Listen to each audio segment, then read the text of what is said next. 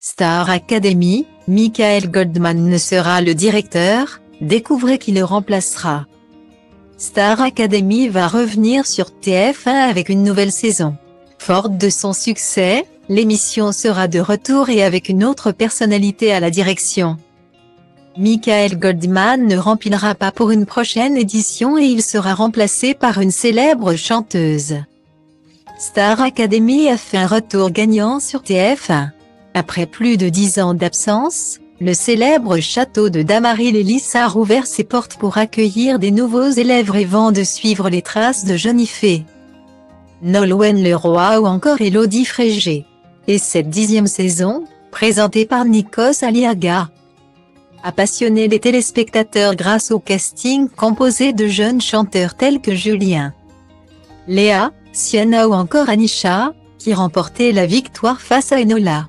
Le comeback du programme initialement lancé en 2001, a également été porté par des nouveaux professeurs, Adeline Tonyuti, la prof de chant déjanté, Laure Ballon, la spécialiste d'expression scénique très exigeante, ou encore Yanni Marshall, le danseur et digne successeur de Kamel Wally. Un corps professoral dirigé par un directeur peu connu du grand public. Contrairement à son célèbre papa, Michael Goldman, le fils de Jean-Jacques Goldman a immédiatement séduit les fidèles de l'émission avec son calme et ses avis cash sur les candidats lors des évaluations.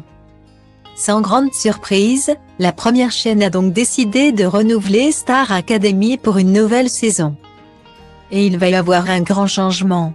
Le directeur de l'école de chant et de danse la plus célèbre de France ne sera plus le même. Selon des informations de Closet, Michael Goldman ne remplira pas pour une prochaine édition et il sera remplacé par une star, Lara Fabian. La célèbre chanteuse lui succédera. Un choix logique pour la production qui avait initialement tout fait pour qu'elle devienne la directrice du programme lors de la précédente saison.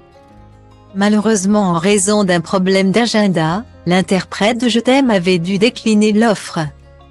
Je sais que beaucoup ont spéculé dans les médias mais vu les différentes obligations que j'avais déjà contractées, notamment avec ma tournée, je ne pouvais malheureusement pas m'engager, avait-elle expliqué à Télé 7 jours.